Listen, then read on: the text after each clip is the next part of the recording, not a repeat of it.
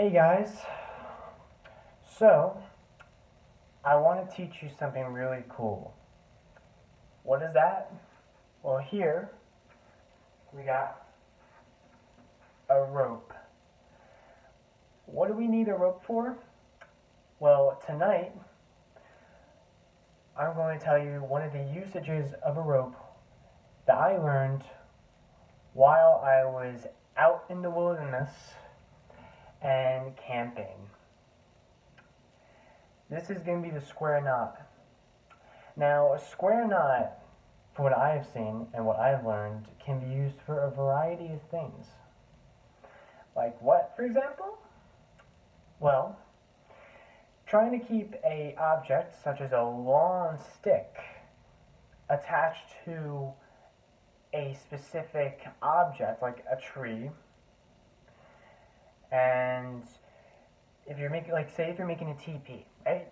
You have a stick like this, but you don't have any way to keep it together, right? When you have, like, a cover.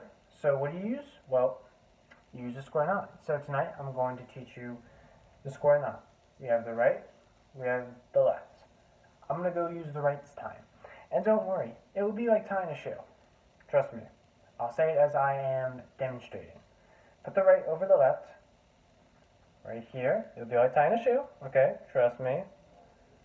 This is our state. Well, not our state, rather our progress so far. Be like tying a shoe. Now put the right right here under and it will be like tying a shoe.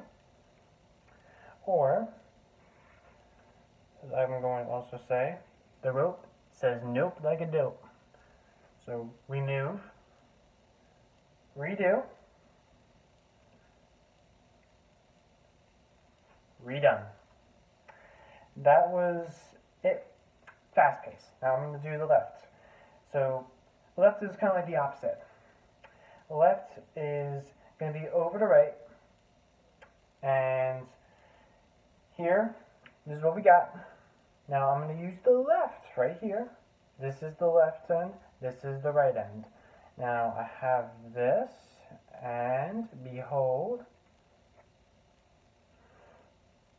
a square knot. Congratulations. You have just learned how to tie a square knot. I hope all of you guys have learned something very important tonight. This could save your life, and this could also help you survive when you are out in the wilderness. This is Sean Gowen, signing off.